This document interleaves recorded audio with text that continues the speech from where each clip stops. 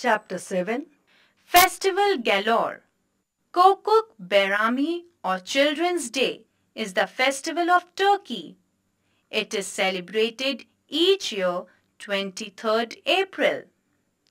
Hina Matsuri, also called Doll's Day or Girls' Day, is a special day in Japan.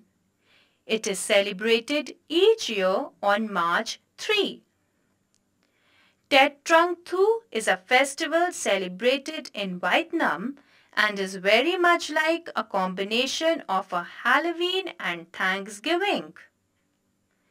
Kodomo no Hi is a Japanese Children's Day and is celebrated on 5th of May.